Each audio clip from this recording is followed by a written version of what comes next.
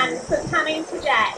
We stand here, Jane Ludemann, founder of Cure Our Ovarian Cancer, and Tash Crosby of Talk to present to you a petition signed by thousands of New Zealanders calling for improvement in ovarian cancer. 182 crosses. 182 sisters, mothers, daughters, and friends lose their lives to ovarian cancer every year. So much has changed in the previous 12 months, but for women with ovarian cancer, everything remains devastatingly the same. Ten years ago, Susie visited her doctor with the typical symptoms of ovarian cancer. And instead of receiving the necessary blood test and ultrasound, she was referred to a psychiatrist and told her symptoms were psychosomatic. By the time she got her diagnosis, her cancer was advanced and took her life soon after. She was 44 years old.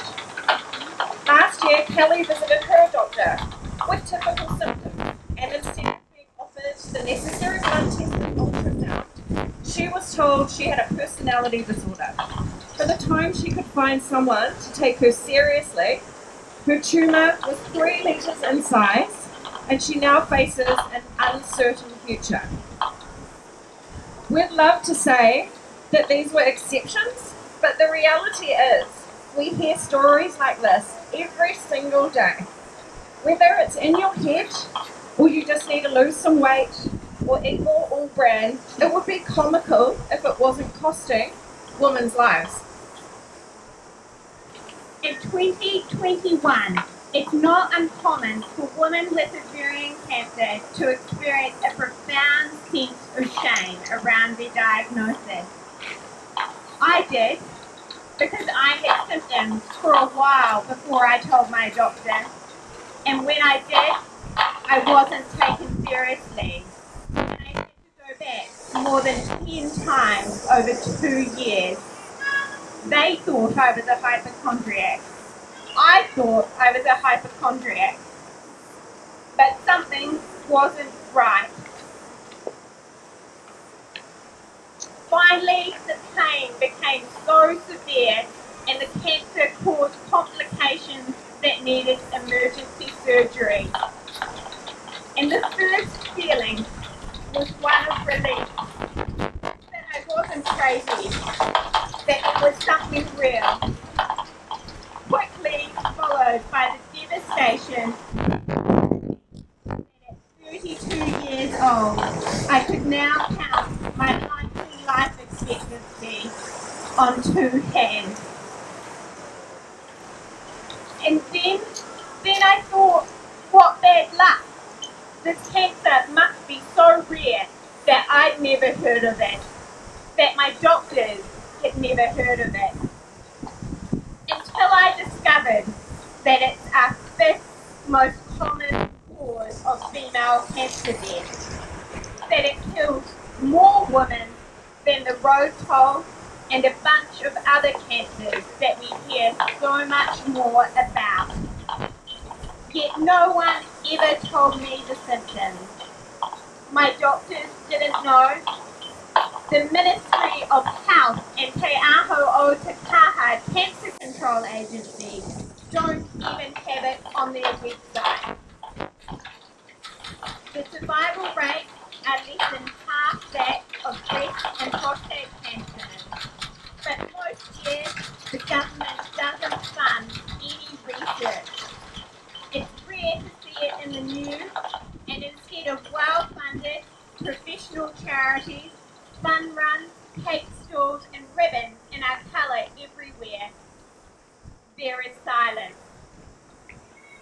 It makes you feel like something is wrong with you. Tell me that's not shameful.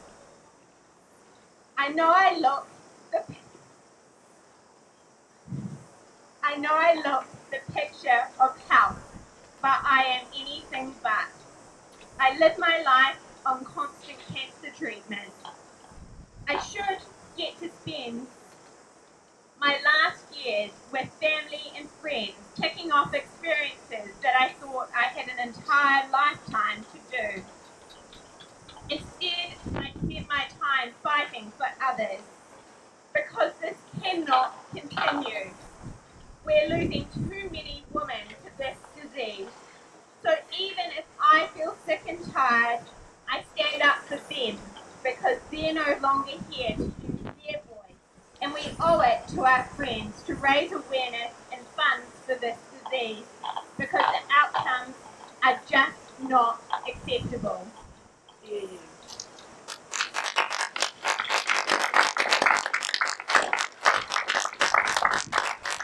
I was diagnosed in 2017, and the only reason I'm standing here today is because on the third time getting discharged from the emergency department with a pack of Panadol, I begged for further testing and refused to leave. Women, women shouldn't have to beg for their lives. It is, it,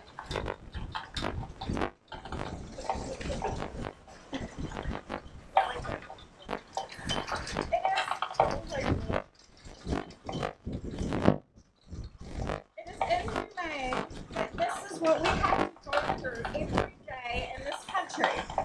In 10 years' time, I don't want to see that nothing has changed. I can't bear to see more and more people dying of something they never heard of, never knew the signs for, and no one ever cared to research for.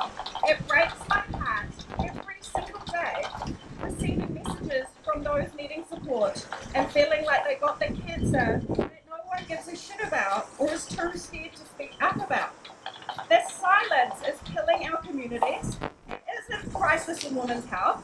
It is a silent crisis. The symptoms are loud and the women are speaking, but no one is listening.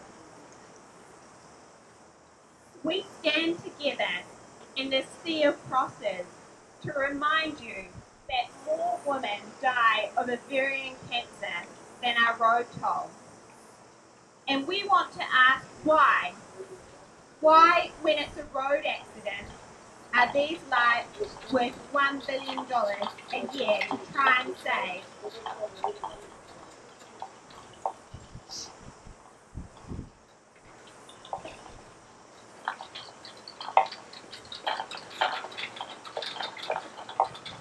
And yet, as soon as this steel ribbon is added, we put no value on it at all.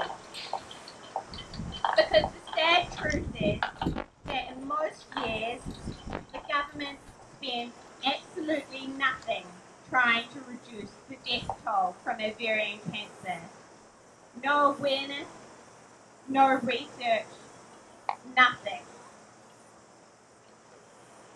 We are calling for women to be told about ovarian cancer, for medical guidelines, for New Zealand women to have the same treatment options as Australia, and we are calling for research because it is our least survivable women's cancer. It's time for the silence on ovarian cancer to end. It's time for GP guidelines and prompt testing. It's time to fund treatments and clinical trials. And as our least survivable women's cancer, it's time to fund research. So please accept this petition and this core heart of stories by brave women with ovarian cancer. Please don't take their words for granted. Our lives depend on you.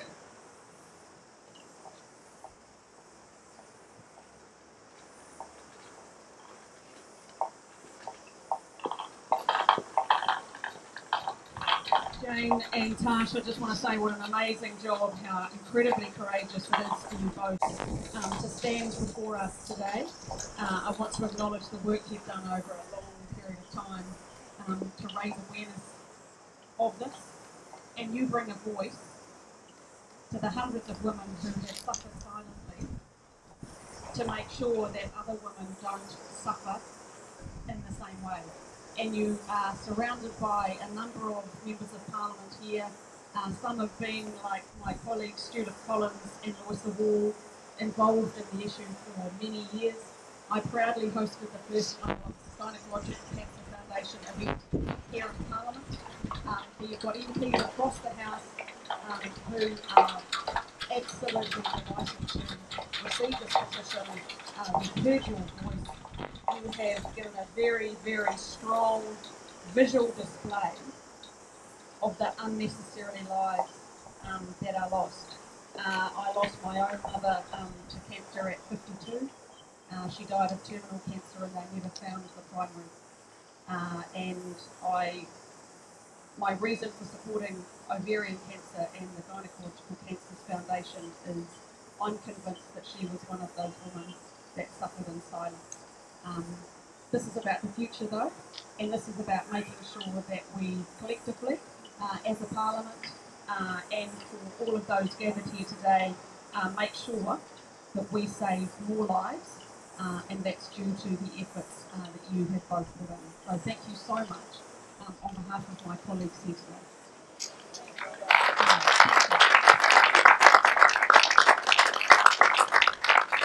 Kia ora koutou.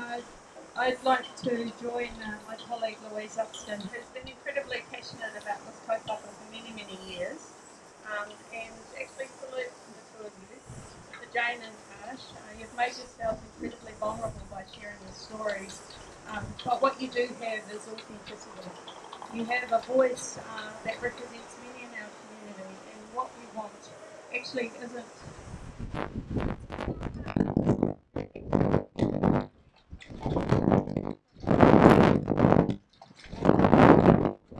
our systems and actually help diagnose these conditions earlier because what if we can diagnose earlier and obviously that's why are not whakamaru them but aren't afraid to come forward with their symptoms. I think sexual and reproductive issues historically um, there's been a shame you've done the same. Look the shame and I want to acknowledge all the men here because actually they represent lives, mothers, daughters who want to now join you in uh, what you're asking for. So this will go to the petitions committee, this is one of those issues that reaches right across the parliament. You know, we want to work collaboratively together with you, and so I thank you. And I also just need to acknowledge the Honourable Penny Curran, because I know she worked with you in terms of the petition and your ability to be here today. But all I can say is kia kaha, keep going. Uh, you're an incredibly strong woman, uh, and all we can do is pledge to listen, but also do more than that. It's to look at how more responsive our health system can be to meeting the needs of women and girls. So, kia kaha koutou.